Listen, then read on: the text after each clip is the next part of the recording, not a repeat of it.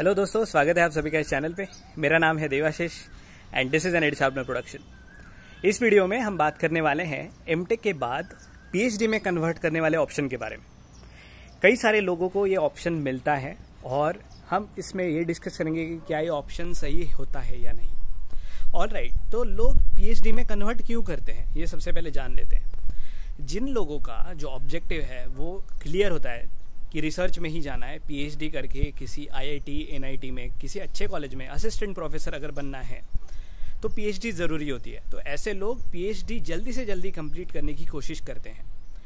अगर आपकी, आज आप एज देखो तो आपकी एज अभी होगी शायद ट्वेंटी थ्री ट्वेंटी टू ऐसा कुछ होगा। दो साल में अगर आपका एम टेक कंप्लीट हो जाता है तो आपका ट्वेंटी फोर ट्वेंटी फाइव उम्र होगा, और उसके बाद फिर आपको पीएचडी करने में पाँच से सात साल लगेंगे। तो you get your P H D at the age of thirty और thirty two max to max thirty two उसके बाद then you have to take some professional experience named post doc और उसके बाद then you are eligible to apply for good institutes in India which are centrally funded like I I Ts N I Ts तो basically दोस्तों P H D करना सबसे important हो जाता है और वो भी जल्दी से जल्दी। कई सारे लोगों के पास एम में होते हुए आपका जो एम का प्रोग्राम है, वो कन्वर्ट करने का ऑप्शन आपको मिलता है। ठीक है? ये ऑप्शन आपको डायरेक्टली प्रोफेसर को कन्वे करना है। मतलब जो आपका चॉइस है, अगर आपको लगता है कि मेरे को ये करना है तो आप डायरेक्टली जाके प्रोफेसर से बात कर सकते हो। स्टार्टिंग से ही एक टेस्ट होने दो, उसमें अच्छे मार्क्स आने दो आपके। Go to your professor tell them that you want to do this all you need to do is to impress your professor with your work अभी होता क्या है, मैं बताता हूँ। अगर आपने आपकी पीएचडी ज्वाइन कर ली जल्दी से जल्दी तो आपके दो साल बचते हैं। मैं बताता हूँ कैसे। अगर आपने नॉर्मली पीएचडी ज्वाइन की, ठीक है मतलब after your M tech if you join your PhD एक साल के लिए आपको कोर्स वर्क कंप्लीट करना पड़ता है, ठीक है। कोर्स वर्क का क्या मतलब है? जैसे आप एम में कोर्सेज करते हो, वैसे आपको करने पड़ते हैं। उसके बाद फिर आप प्रोजेक्ट प्रपोजल सबमिट करते हो कमिटी के सामने। फिर वो एक्सेप्ट होता है, उसके बाद फिर आप अगले चार साल तक वो प्रोजेक्ट कंप्लीट करते हो, उस पर पी डिग्री कमाते हो, फलाना डिबाका, जो भी है। तो ऐसे पाँच से सात साल इंडिया में पी कंप्लीट करने के लिए लगते हैं।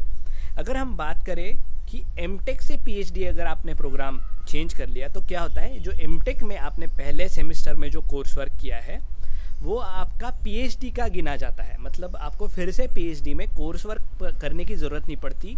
If you change your M program right in the middle of your one year मतलब आपके एक साल हो जाने के बाद आप पीएचडी में चले जाते हो तो कोर्स वर्क करने की ज़रूरत नहीं होती। तो एम का जो दूसरा साल है, वो पीएचडी का दूसरा साल, ऐसे करके आप मान सकते हो। सो so बेसिकली आपके एम के दोनों साल बच जाते हैं।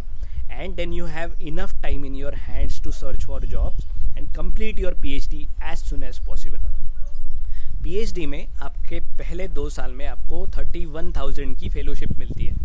And for the next two years that fellowship increases to thirty five thousand rupees इसमें प्लस एचआरए भी होता है। If you are living outside the campuses of I और एन अगर आप कैंपसेस में ही रहते हो तो ये आपको एचआरए नहीं मिलता। लेकिन जो हॉस्टल लाइफ है कैंपस लाइफ है, वो काफ़ी चीप है।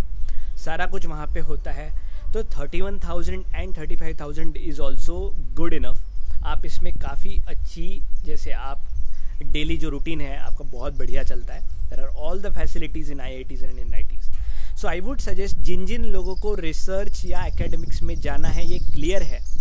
वो सारे लोग एम टेक को पी एच डी में कन्वर्ट करने का ऑप्शन के बारे में सोच सकते हो, ठीक है?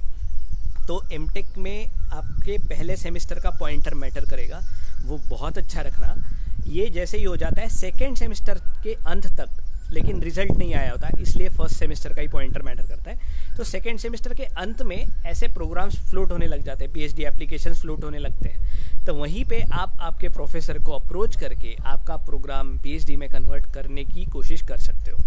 मेरे खुद के रूममेट ने आईआईटी दिल्ली में ऐसा किया था and then he became a very good researcher in IIT Delhi saved two years of his PhD went on to do postdoc in UK and now he's doing very well.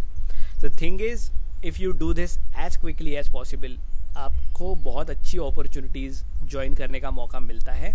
And trust me P H D is good enough अगर आपको really really, मतलब ऐसा लगता है कि P H D करनी चाहिए या नहीं so P H D is also a very good thing उसमें सिर्फ़ लोगों को ऐसा लगता है कि बहुत जैसे पैसे के बारे में सोचते हैं लोग।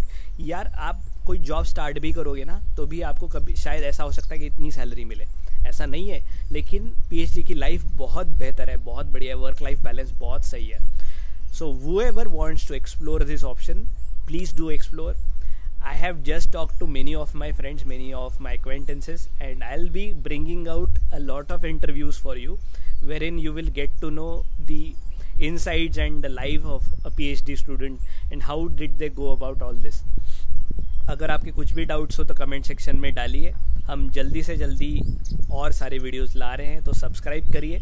एंड मिलेंगे जल्दी ही, तब तक के लिए ज्ञान पीते रहिए।